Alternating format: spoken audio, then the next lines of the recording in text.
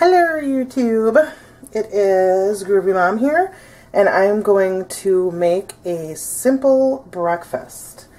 Um, that's it. So this is my first time shooting, cooking, and everything else. Um, so the first thing that I'm going to do, uh, that I don't know if other people do or don't do, but I like to have coffee and I use one of these uh, Melitta I think it's pronounced, pour overs.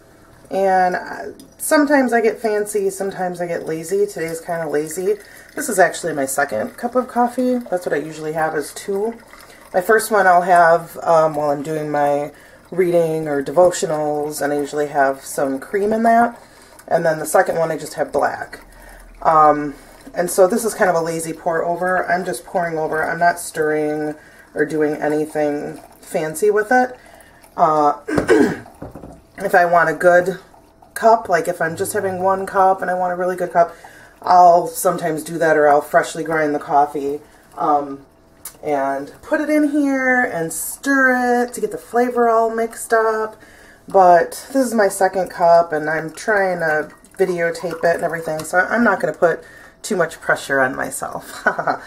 um, so anyway, and I also, you, the, for any big coffee stud out there, yep, I got the too big filter. I think this is supposed to take a number two and I got four, but I wasn't going to return it. I was just going to use it. And actually, I kind of like this bigger filter because I get sloppy sometimes and um, I don't know, it just seems, it, it's cleaner. So anyway, so I have my electric kettle that I heat my water up in. Uh, I've used different methods like stovetop before, but what the rest of the family uses is a percolator, and we've been using that for a while. This one is Hamilton Beach, and it's on the Fritz. It'll cycle through and then it'll start cycling again. But what I don't like with almost any coffee maker is I can easily taste the burn. So once this brews through and the green light's on and it's done brewing, my husband likes to leave it on so it stays hot because he'll drink, you know, coffee throughout the morning and sometimes later. Um, but I taste the burn in it. I can I can just taste it. So I just started going to this baby. I did stand in line for a free Keurig um, a while ago. I don't remember how long ago it was now. And got that, and I used that for a little while, but uh, yeah, yeah. I started making my own pods and everything because I didn't really like the plastic, although this is plastic, so yeah, what do you do? And I just kind of eyeball it. Sometimes I run over, um, but usually I'm pretty on, pretty on the nose. anyway, so I'm going to go ahead and keep that there and then go back to my egg. And I'm making, this is a very, very, very simple breakfast. Um, this is something that, I mean, it's just egg and toast. So super simple. But um, what I found in watching YouTube videos, oh dear goodness, this is probably just going to be way too close up and I'm not going to like it. Okay, so what I found in watching the YouTube videos is that I like to watch people cook because it's kind of like I'm cooking alongside them even if I'm not. So I can see like what methods people use or, you know, something different, maybe pick up something. Oh, this is not a good angle, but I don't care. Whatever. Um, so I like to watch those cooking things. I know um, you can watch cooking shows online, but I like the YouTube ones because I feel like they're more candid. They're in real kitchens. I mean, you can see. Oh, I don't want to show you too much, but I mean, I need to paint these. These have been these have been primed for longer than I'd like to mention, and I need to paint them. My mom actually primed them for me because she likes to paint, and then she moved not too far away, but far enough where she's not coming over to paint. So that's one of my projects, and hopefully eventually I'll get there and I'll make a video about it. We'll see. Um, but anyway, so I, I like to watch it. I've been watching the, I've been watching people cook and enjoying that, and so I'd like to do my own channel and um, do the same thing. And maybe we'll bore people to death, maybe not, we'll see. But anyway, so I used to eat a lot of eggs and toast when I was young. That's what my mom made. We always had breakfast. Always ate it at the table. My parents always had coffee brewing. Um, usually breakfast was, you know, a piece of toast and peanut butter or peanut butter and jelly or a bowl of cereal or an egg and toast. And egg and toast like to be sunny side up so you can dip the toast in the egg. Best thing in the world. Alright, so here we go.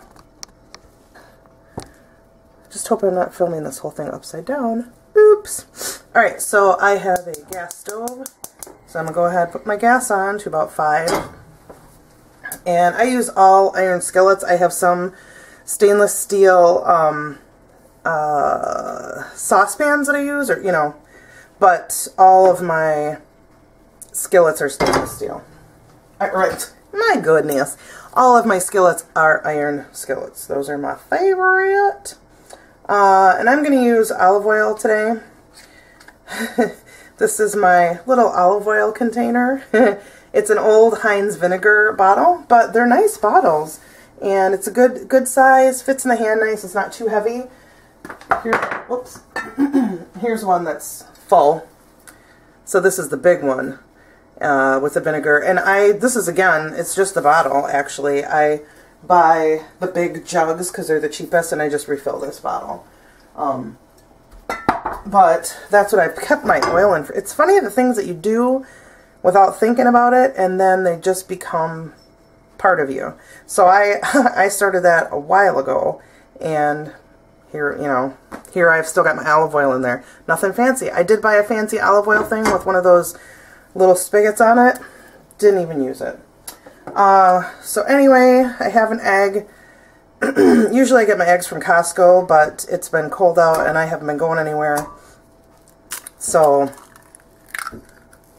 I think this is from Kwik Trip, which I love. Kwik Trip, I love it. All of our PDQs here um, in Wisconsin turned over to Kwik Trips, and I am through the moon.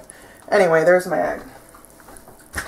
I'm going to step over here and wash my hands real quick because that's the same thing to do after you crack an egg. Um, I also crack my eggs with one hand. I can't crack it with two, so I don't know. Anybody else out there like that? I think my brother's the one that started me on that. And I don't know why I just continued. So, I'm going to step over here and get my handy dandy thing. I think people use this for fish. I don't know. I like it to flip. We're going to see if I get to flip this and it's not going to break. So, oh, coffee's done. Yaha! Coffee's done. Oh, ooh la la. You know you got your eggs going. What makes that sound, right? Okay, so I'm going to put a little, little bit of salt. I've been using that Himalayan pink salt for quite a while now. I don't know if anybody else uses it. I think there's some health benefits. Um, whatever. Okay, so I'm going to get that going, and then while that's in there, I am going to get my bread on. This is Earth Friendly. It's one of my favorite breads. I get it here at Woodman's. Um, gosh, it's been on sale for two for three dollars. Um, I think I bought this, they're two for five now. But I've gone there and they haven't had it, so I bought four of them and stocked up. So I'm going to pop that in the toaster. But it's really good bread. It's um, I, I buy Brownberries sometimes. My absolute favorite is the one from Costco. That's the best toasting bread. Not very good for sandwiches. But uh, I gotta flip this puppy soon. But you can see the ingredients are solid. Like it's a good bread. 100% uh, crushed whole wheat, water, uh, unbleached wheat flour, honey, yeast, soybean oil, wheat gluten, hmm, salt, and vinegar. That's it. But it's from Pan-O-Gold Baking Company in Minneapolis, Minnesota. Uh, looks like maybe they have something in Sun Prairie and Fargo, too. But anyway, uh, if you ever get a chance to try that bread and you like wheat bread, like I do, then BAM! Get you some. Alright, so there goes the egg. I'm babbling, and so it's a little more cooked than I'd like to. Um, I still have my I still have my pan at about 4 or 5 right now, just maybe a little bit hot. I'm going to get a plate because this is going to get farther than I want if I don't. Alright, I got me my plate.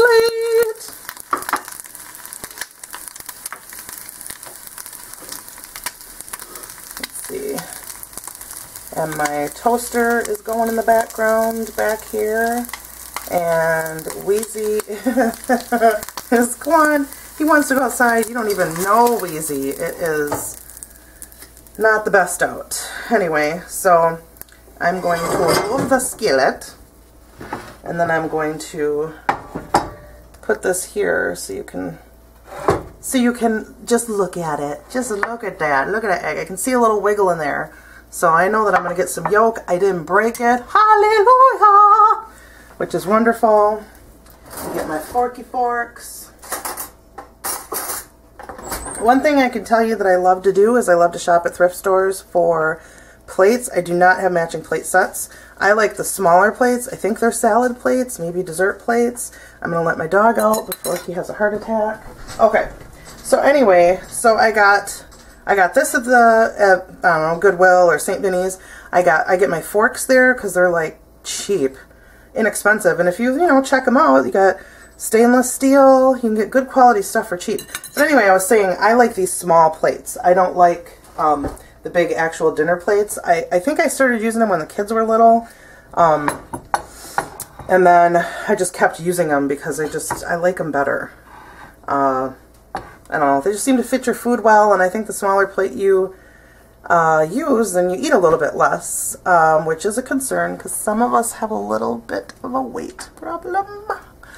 Um, so, anyway, ah, I cracked myself up. Alright, so I'm waiting on that toast to be done, and when we talk about toast, I like my toast toast. Like, I want toast. I want it crunchy, um, not lightly done.